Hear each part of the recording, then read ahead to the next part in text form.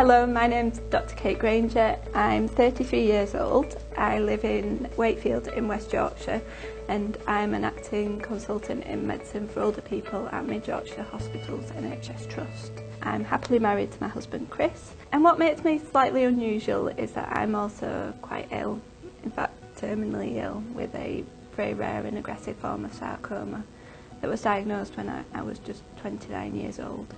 And so I've been through the mill a bit with health stuff over the last three years and, and, and it's been quite a tough time coming to terms with all that. I was always in a non-curative situation so I've, I've had three and a half years to live with that and deal with that so um, it's, it's not going to change, I just, I just face each day as it comes. The hashtag Hello My Name Is campaign came about when I was in hospital in August 2013 During that time I was a keen observer of my healthcare and what was happening.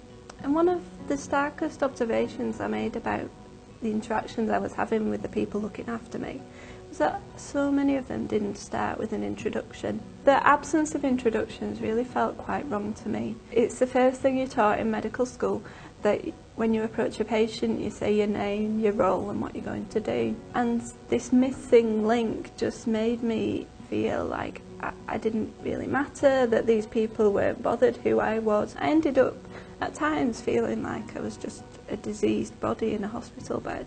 Now I've been down the NHS complaints route in the past and felt that it's not really brought about significant change. So I thought I'd do something more positive. So using my already significant social media presence and influence, we thought we'd launch a social media campaign. And my husband happily packaged the idea into the hello my name is hashtag and I started tweeting, I blogged about it, I invited people to pledge their support, we gave the campaign a logo and off we went on a big journey really which has lasted nearly two years of really trying to change behaviour, culture and how compassionate care is delivered in the NHS. I believe that compassion is actually central to healthcare. In the admission in the lead up to the start of the hashtag Hello My Name Is campaign, I'd obviously met quite a few people in the emergency department, none of whom had introduced themselves until I met Brian. Brian was a porter. He introduced himself. He recognised that I was in pain when I got onto his trolley. He fetched me an extra pillow and an extra blanket to make sure I was as comfortable as I could be. And he made sure that I was settled on the ward before he left. And he was doing those little things that I talk about being so important in the delivery of compassionate care.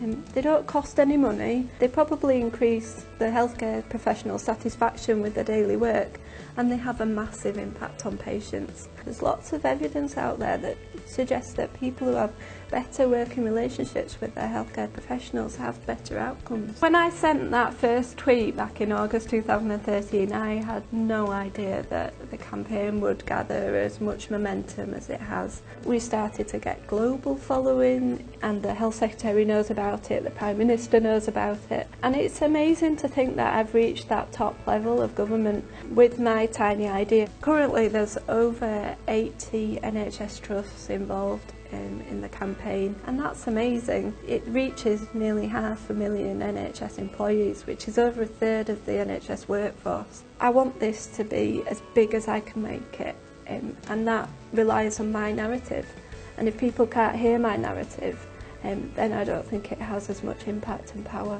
I feel immensely proud of my campaign. When I see the impact here in Mid Yorkshire, my clinical home, I've worked here for a number of years, I've done all my training here and I'm so proud and happy that they're leading the way for all the 80 trusts because it's their energy, enthusiasm and passion that's keeping this rolling and keeping it growing its own set of wings. Now that you know I don't necessarily need to be part of it anymore it's becoming its own thing. And I hope it's my legacy. I hope it's what people will remember me for, for making a real tangible improvement in the health service that directly affects patient experience. Writing about my illness, tweeting about it, blogging about it, sharing openly my deepest, darkest fears and vulnerabilities with the world has been about trying to improve things for others. And, and the fact that I've done that and I've now got a legacy and means I can die proud really.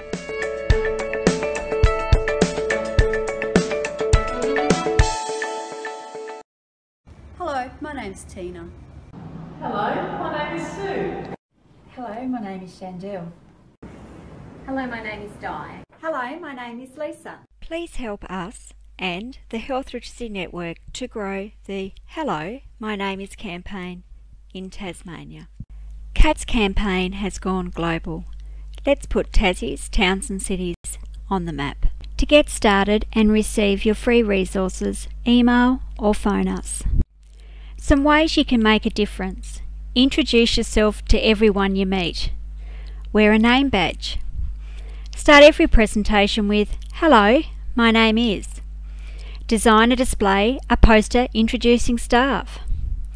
Develop a video to play on your waiting room TV.